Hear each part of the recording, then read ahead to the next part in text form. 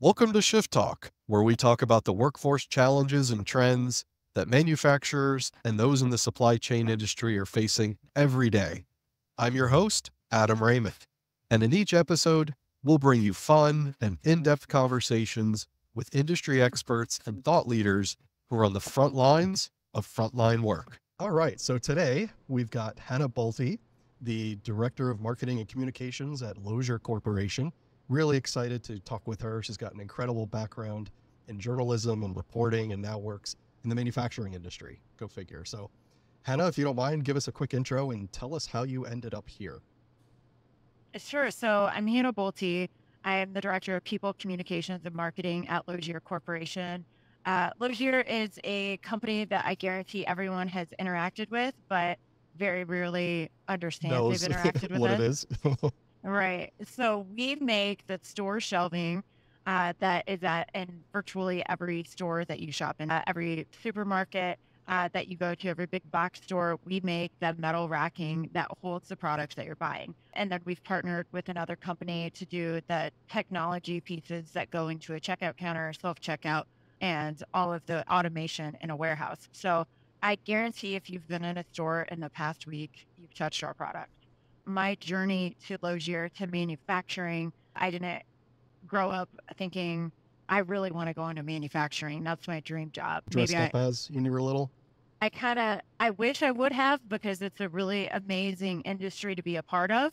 But no, I actually I started my career as a television reporter. Uh, so I was a television reporter on air in Des Moines, Iowa, and then here in Omaha, Nebraska. And I loved it. I loved being able to tell other people's stories. So I ultimately left television news uh, for, quite frankly, better balance. Wanted to have a family, and those hours were a little challenging when it came to that regard. My husband's a first responder, and our schedules were Yeah. both really crazy, and it just you know really lend itself to having a family. Fast forward a little bit, and there was an opportunity at Lozier to really stand up a communication wing of the company and connect a pretty disparate workforce. Disparate in the sense that we're disconnected. Lozier has five locations throughout the United States. They're separated by distance, but they're also separated by job type. So in the manufacturing sector, you've got your office employees who are pretty connected from a technology perspective. And then you've got your manufacturing plant where there's a myriad of jobs and you're coming in, you're punching a clock and you're doing you're doing the work over and over again and you're not reliant on all of the forms of technology that other roles are. Yeah. yeah, that's really interesting. And let's be honest, what what hesitations did you have when you heard about a job opportunity in manufacturing? I had worked in financial services and I had Mhm. worked at a railroad, and those are both very male dominated industries and non traditional. So when I got the call of, hey, there's a manufacturing company in town looking for someone to really lead communications, I was a little leery because I didn't know that was something that would bring me joy. I have, I, at the time, I had young children, and the balance, the work life balance and flexibility, those things were very important to me. And everything I had always heard about manufacturing was like, there's nothing flexible about Flexible, I was going to say. and that might not work really well with the things that I need to prioritize right now in my life. right. So I had talked to my husband about it, and he had told me, don't close the door before, like, check it out. See, check it out. Yeah. And you don't, you never know. Just Worst you could say out. is no. And I'm so glad I did. So I took his advice and I had interviewed with several people here at Lozier. And one of them at the time was the head of human resources. And she was incredible. And I remember telling her, hey, I was hesitant to take this interview. I had never viewed manufacturing the way I did before I chatted with her. And I guess I had always thought of manufacturing as it's the stereotypes of Right. manufacturing, right? It's dirty, dangerous. They call it the three Ds. And I guess in my head, that's how it was. And absolutely wasn't. I think the biggest thing that I had shortchanged it was the opportunities that the industry has for anyone. You could be someone who has no experience whatsoever, come in at an entry level job and work your way up, or you could be someone like me who is, I would say, I categorize more as like mid career and walk in and really be able to make an impact and grow and develop in ways that I wouldn't have otherwise. But the industry is like a choose your own adventure book. You Oh, come in and you learn a lot. You come in, you learn a lot, and hey, you want to learn about this? Great. Here, like we're going to help you. And I would say it's one of the more supportive industries of all of the different types of work I've done. More supportive industries and uh, learn as you go, continuous improvement mentalities that I've ever been a part of. That's really interesting. You brought up the three Ds, right? It came up at the Manufacturing Institute's Workforce Summit last year. I remember Bill Good, who's the uh, Senior VP of Supply Chain with GE Appliances, and he was tackling the question of what is it manufacturing really needs to focus on the next few years. And I was surprised that his answer was not increase in technology or educational background, something to do with operations. He says it's branding. He says Yep. we've got to do a better job of showing people, especially our local communities where our workers are coming from, what modern manufacturing really looks like. And I loved the way you described it. Have you seen that in your current role that there's still that challenge of breaking down those misnomers of what manufacturing is, what Lozier does, what the culture is? What if what's your experience been so far? Oh, absolutely. Those, unfortunately, that's the rap that the entire industry has gotten. And I've been to many manufacturing companies in my role now, and it is could not be further from the truth. At any mm. manufacturing facility, safety is paramount. There's nothing dangerous about it. The safety Right. protocols that are in place are there to protect everyone. And from a dark and dirty perspective, that's so untrue. But I completely agree with GE's sentiment there. It is a branding issue. There is a lot to be said for visiting a manufacturing plant. I have yet to speak to anyone who, as a child, was all, I want to be in manufacturing one day. But I think is probably one of the more interesting things about this industry is everyone happened into it and they've grown and evolved in their roles since they started in manufacturing. And that's what makes them like a very well-rounded and very poised in their positions that they hold is they bring in that outside perspective of different industries, different experience to really lift a company that they're currently working for. That's so true. I was just talking to Vivian Sanchez last week. Same thing. She was in a track to become a nurse and had no inclination of going into manufacturing and now has a whole new purpose in life and helping people. And it it's a common theme I hear just over and over again when I talk to people, whether it's on the factory floor or in a management role or in communications like yourself, that they never understood the opportunities that are in manufacturing and the melting pot of diversity and backgrounds that people are in that are attracted to the industry and realize, wow, that this is really cool. We make the things that everyday people rely on. I think one of the big advantages of the industry as a whole is it does provide opportunities wherever you want to go. At least for Lozier, we have people that might start in the plant and then they might Mhm. work themselves into a different role that's maybe in the office later in their career. So it's a versatile industry that can grow with you if that's what you desire. But again, there are also roles where, hey, maybe that's not your jam. You don't want to grow, you don't want to expand, or you don't desire a higher position. We have spots for that too. And we Yeah. meaning the industry as a whole. Like there there are opportunities to learn and grow and without ever having to lead the industry as a whole. No, it's a great point. I know Gen Z gets picked on a lot. That's showing that a lot of them aren't interested in management roles. They like the idea of knowing this is what I have to accomplish by the end of today, having tasks, getting it done, and clocking in and clocking out. And that's the end of your workday. Well, and I think a lot of some of it also goes back to the schools, right? There were for a long time success or the formula of success was preached at college four Yep. year, four year, four year. Get your bachelor's degree and it'll unlock your future. And while that works for a lot of people, it's not this path to success for everyone. That traditional four year degree isn't Yeah, it's not for everybody. necess- isn't the only it's not the only way to success, right? If school wasn't really your thing, but maybe working with your hands was. It's Right. success could look like a career in the skilled trades for you.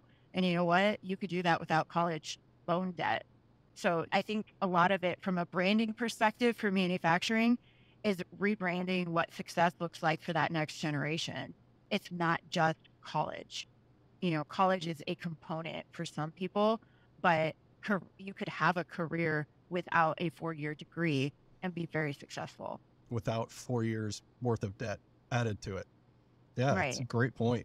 And a lot of companies will even pay for that schooling, especially if it aligns with the field you're in.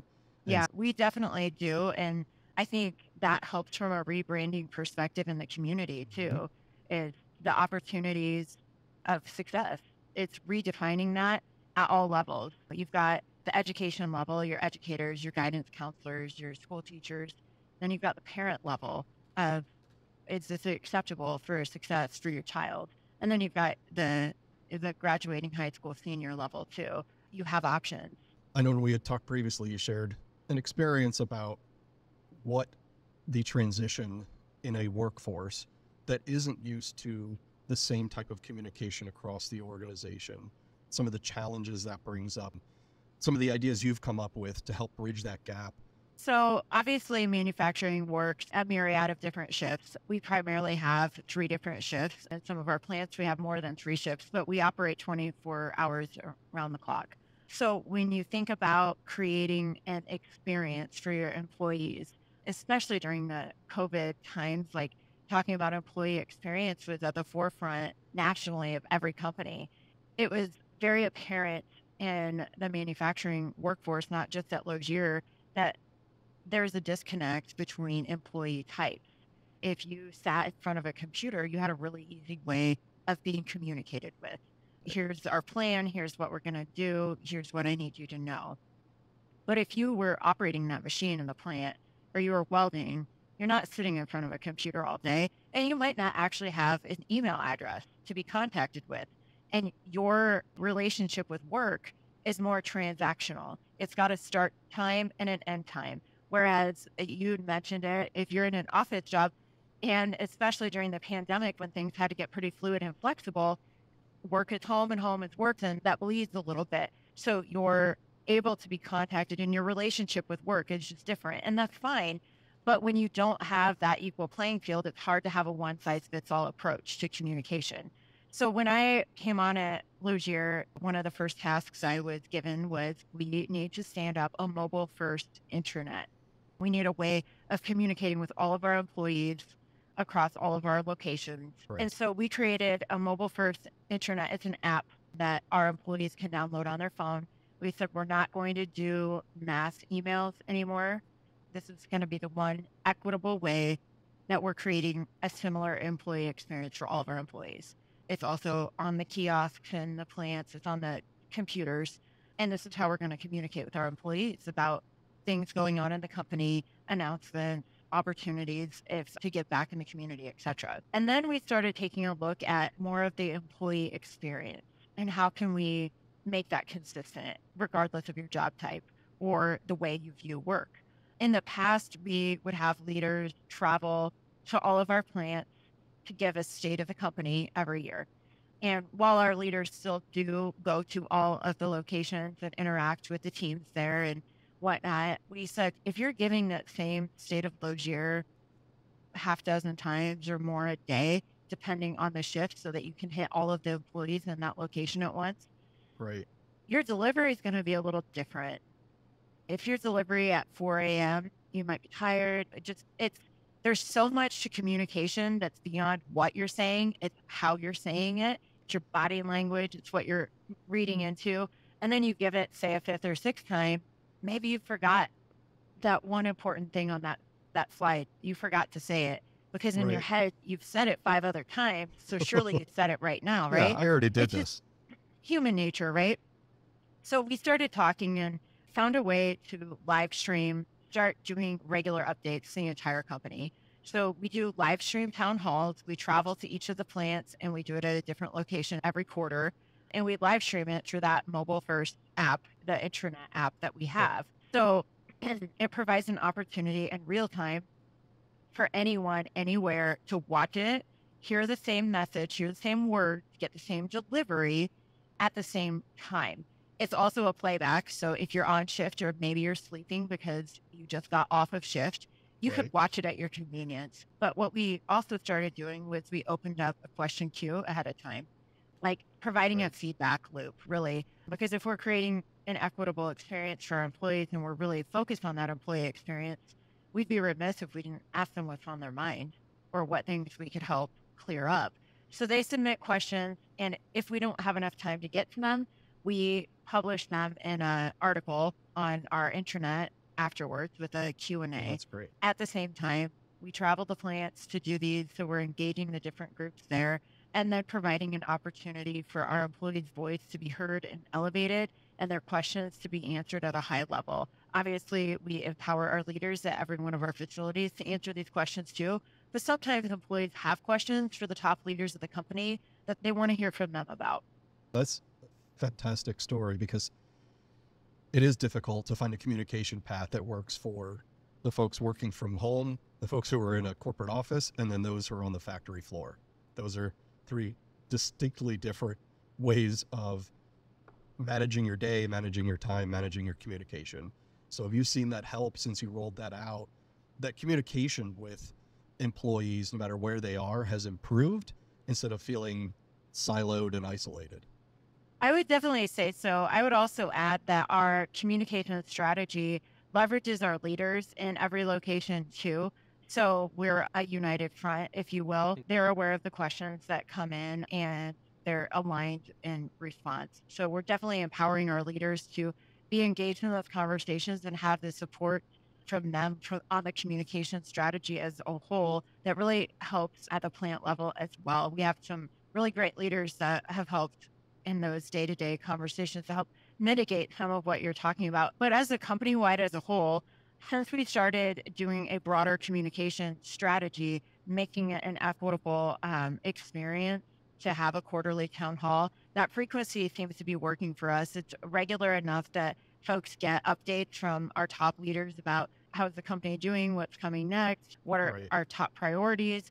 They feel in the loop and everybody's getting that information at once. Everybody wants feedback. Everybody wants, when you're doing a great job, they want to be recognized. So they want to be in the loop and they want to know what's going on. Oh, that's incredible. Love that.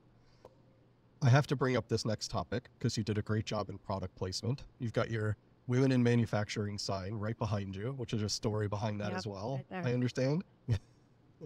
Yeah. about that. So I am, when I said I didn't grow up thinking I really like, I aspire to be in manufacturing one day, I truly did mean it, but it's been one of the biggest blessings in my life. So this is an incredible career path for me and the opportunities that it has opened are really phenomenal. But one of the opportunities that I had was to join Women in Manufacturing, the Nebraska chapter. So Women in Manufacturing is the national organization that aims to support, promote, and inspire. It's supporting women who have careers in manufacturing, inspiring those who may join a career in manufacturing, and really providing networking opportunities. As you're aware, it's a manufacturing is another male dominated industry, providing opportunities for women to support women or even men to support women in these roles in Right. non-traditional roles, if you will, is a pretty awesome opportunity. So Women in Manufacturing, it's a national organization. There are different states that have chapters. So I mentioned who I had interviewed with here at Lozier for this job. Her name is Tammy Carlson, and she actually worked with some other leaders in manufacturing in the state of Nebraska right before COVID. She created a chapter for Nebraska. Oh, wow. It's the Women in Manufacturing Nebraska chapter, and Tammy and I are co-chairs of the board. This sign that's behind me was actually made at one of our events that we engaged high school girls in. October is National Manufacturing Month, and we partnered our local community college here in Omaha, Metropolitan Community College, to host female students from area high schools that had an interest in a career in the trade. And some of them trades is a lot of things, right? So Mhm. they had a couple of instructors at MCC that took these, this group of students and took them into the welding area and they made these out of sheet metal. So so that was a gift to us. So it's a It's a cutout of the state of Nebraska with the Women in Manufacturing logo on it, and it's probably one of my favorite things in my office. The gals there who came out of it, they all made something and they all Hmm. walked away with something that they had cut out of metal. And there were a lot of them that walked away and they're like, oh my gosh, I never knew I could do that. Right. And we had some really incredible instructors at MCC that kind of helped talk them through it. Like, you've got this. It's fine. Everything's going to be good. Believe in yourself. You can do this. And, Oh, you know, they that. walked away with something tangible that they've made. They Yeah. made it themselves. Back to what the gentleman at GE was talking about. It's about promoting what the industry actually is, right? There's so much out there So about what it isn't. And there's not enough out there about what it is and what the future of it looks like. The first advertising campaign in America was to recruit women into manufacturing jobs during World War II. Rosie the Riveter yeah. was the one of the first advertising campaigns across America. That was manufacturing then. Manufacturing's evolved a lot since then. And I talk about that a lot where it's women really started that whole movement Right. here. So By the way, we, We did need that already. You're we need like, to fill that. yeah. We Yeah, already did a better we- job If they it. could do it then, we could do it even better now, right? Yeah. That's so true. Um, so it's just it's about really promoting what the future of manufacturing looks like. It's been a lot of things for a lot of decades, and it's evolving just like every other industry is. Mm-hmm. So working smarter, not harder. There are opportunities there. There are opportunities to lean into smart ways of manufacturing, and the opportunities are really endless. Should you choose to see it that way? Really appreciate your time today. How you would recommend people could follow you and your story and maybe find out more about women in manufacturing if they're interested. Yeah, connect with me on LinkedIn, Hannah Bolte. Send me a connection request, and I'd be happy to chat with anyone. And Women in Manufacturing has a website, womeninmanufacturing.org. There are a number of chapters depending on the state that you reside in. And I just encourage you to check it out and get involved. There are a lot of really incredible women, incredible stories. It's not just for women. Men can join. We're happy to have men join too. It's really about promoting women in the industry and giving a support system and really just helping promote the industry and inspire while we're doing so. So there are a lot of opportunities virtually to network, and then they have a number of events in person as well. And it's a really incredible organization to be a part of. I'm excited about where the next few years are going to be as far as helping us diversify and, and bringing in people from just not just different genders, but different backgrounds. Absolutely. It's a critical conversation, and it's really a key one to the future success of the industry.